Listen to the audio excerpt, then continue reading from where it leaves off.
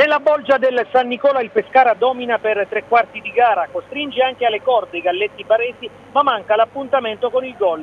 La sfida fra biancorossi e biancazzurri termina senza reti, ma il Pescara esce a pieni voti dall'esame sostenuto in terra pugliese dopo aver messo in vetrina giocate pregevoli di alcuni dei protagonisti come Mandragora e La Padula. L'avvio della formazione ospite che al quarto fa correre i brividi ai biancorossi con un tiro alto in area di La Padula dopo un rinvio corto dei difensori biancorossi. Il Bari che non si aspettava un avvio così frizzante dei biancazzurri soffre. Al dodicesimo si rivede così il Delfino con un tiro da posizione defilata di Benalì che chiama alla parata in due tempi Guarna che si vede ancora qualche minuto dopo una conclusione non irresistibile di Verre.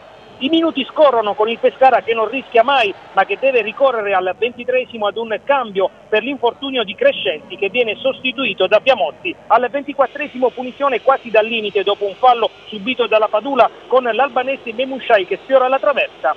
Su un errore nella battuta di un calcio d'angolo, però il Pescara rischia la frittata con il contropiede locale con Rosina che riesce a mettere a tu per tu con Fiorillo Valiani che viene però ipnotizzato dal portiere pescarese la ripresa si apre al quarto con un tiro al lato ancora di De Luca. Pescara che cerca di premere come nel primo tempo, trovando però un Bari più determinato. Al dodicesimo Valiani ancora un'occasione colossale, ma Fiorillo è super. Sul capovolgimento di fronte la Padula in contropiede, manca poi una buona opportunità.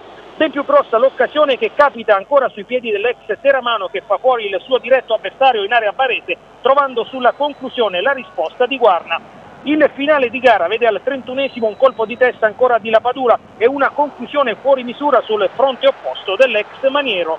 Martedì prossimo si torna all'Adriatico contro la Salernitana, una gara da vincere.